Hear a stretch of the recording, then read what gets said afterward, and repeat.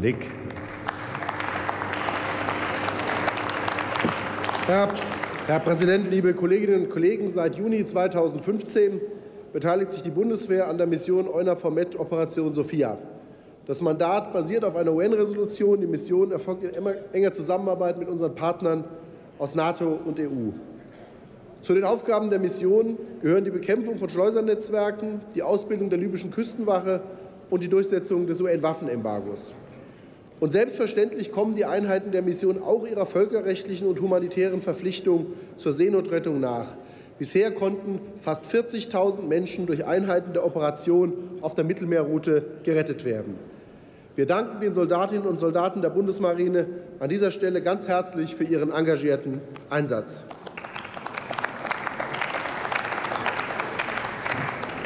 Wir dürfen aber nicht verkennen, dass sich die Lage auf der Mittelmeerroute dennoch weiter dramatisch zuspitzt. In diesem Jahr sind dort bereits mehr als 1500 Menschen ums Leben gekommen.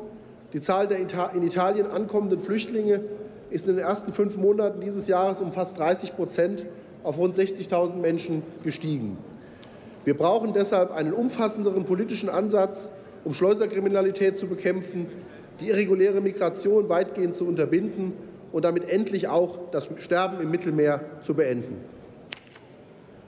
Dass dies durchaus möglich ist, hat das in diesem Haus häufig zu Unrecht gescholtene EU-Türkei-Abkommen bewiesen. Seit dessen Inkrafttreten im März 2016 sind nicht nur das Schlepperunwesen erfolgreich bekämpft und die Fluchtbewegung über die Ägäis weitgehend gestoppt worden. 2015 sind noch über 800 Menschen in den ersten drei Monaten 2016 über 400 Flüchtlinge in der Ägäis ums Leben gekommen. In diesem Jahr waren es immer noch zu viel, aber lediglich 37.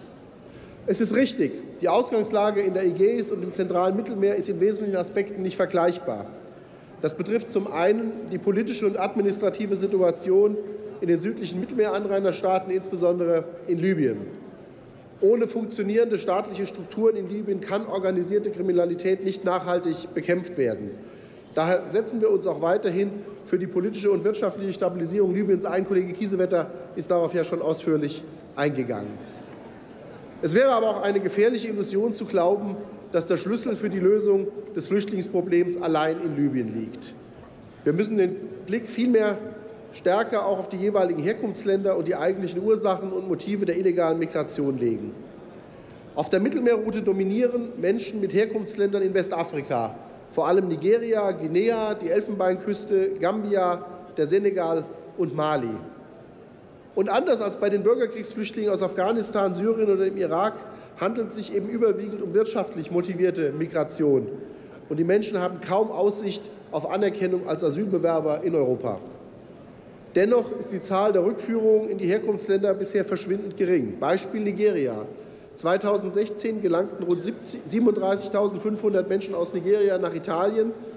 Und obwohl 75 Prozent von ihnen weder Asyl noch eine andere Form von Schutz erhielten, wurden weniger als 1 Prozent, ganze 165, in ihr Heimatland zurückgeführt. Von dieser Situation geht eine verheerende und geradezu zynische Anreizwirkung aus. Wer die gefährliche Reise durch die Sahara und über das Mittelmeer auf sich nimmt und überlebt, der kann derzeit davon ausgehen, auf lange Zeit in Europa bleiben zu können. Häufig allerdings rechtlos, in prekären Verhältnissen und ohne Perspektive. Wir brauchen deshalb insbesondere eine massive Beschleunigung der Verfahren in den europäischen Anrainerstaaten am Mittelmeer, am besten nach einem einheitlichen europäischen Standard und falls gewünscht auch mit entsprechender europäischer Unterstützung.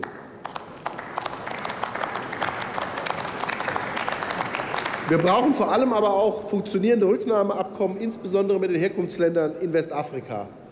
Ziel sollten Vereinbarungen sein, die ab einem bestimmten Stichtag die Rücknahme westafrikanischer Staatsbürger durch ihre Heimatländer vorsehen.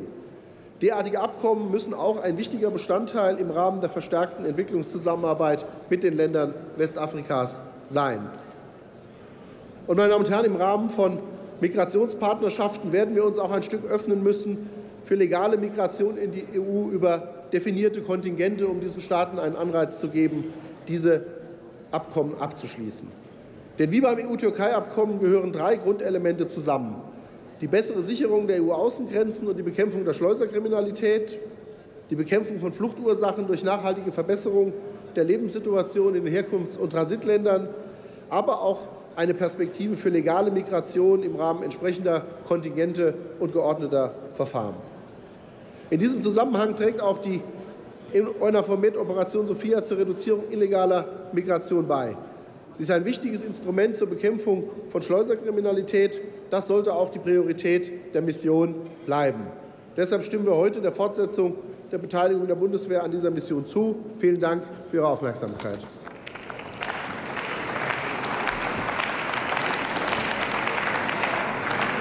Abschließende Rednerin in dieser Aussprache ist die Kollegin Julia Obermeier für die CDU.